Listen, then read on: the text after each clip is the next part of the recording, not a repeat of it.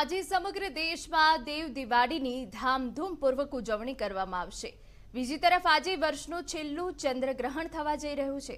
ભારતીય સમય અનુસાર બપોરે બે પોઈન્ટ એકતાળીસ વાગ્યાની ચંદ્રગ્રહણની શરૂઆત થશે અને સાંજે છ કલાકે વીસ મિનિટ સુધી ગ્રહણ ચાલશે. સંપૂર્ણ ચંદ્રગ્રહણ ભારતના અમુક ભાગોમાં જોવા મળશે.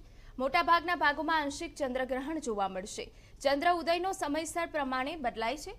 ચંદ્રના ઉદય સાથે ગ્રહણ દેખાશે. પંદર દિવસમાં આ બીજું ગ્રહણ હશે.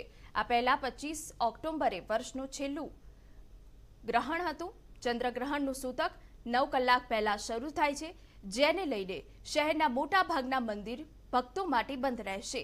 અંબાજી મંદિર, શામળાજી મંદિર સહિત મોટા મંદિરો ભક્તો માટે બપોર બાદ બંધ રહેશે.